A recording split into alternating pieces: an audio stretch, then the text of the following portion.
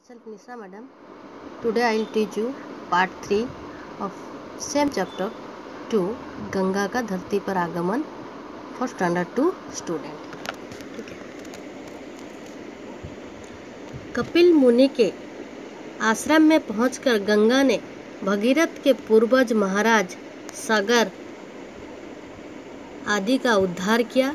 वहाँ से गंगा बंगाल की खाड़ी में सर्वविष्ट हुई। उसे। आज गंगा सागर कहते हैं। इस कहानी से हमें यह सीख मिलती है कि सच्चे मन, लगन और एक लक्ष्य के लिए किया गया कार्य हर बाधाओं को तोड़कर सफल होता है एवं हमें, हमेशा आगे बढ़ने के लिए प्रेरित करता है। ठीक है, इस कहानी का मोरल क्या है? शिक्षा क्या हमें मिलता है? सच्ची लगन से लक्ष्य की ओर निरंतर बढ़ते रहना ही सफलता की कुंजी है।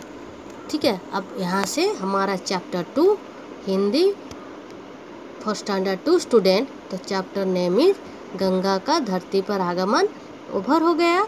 तो in my next video I will teach you exercise ठीक है this one end of the